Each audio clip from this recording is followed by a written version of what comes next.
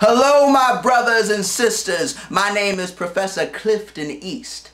In light of this current administration's unflagging display of mediocrity, in light of the Supreme Court's recent decision against desegregation, in light of Don Imus, in light of Katrina, in light of the chasm of race and class that continues to exist in this country, how do you all, my presidential hopeful brothers, and Sister Hillary plan on promoting and expanding civil rights and political accountability and help fulfill and extend Brother Martin's dream into the 21st century so that poor Brother Anderson Cooper here doesn't have to do all this work by himself.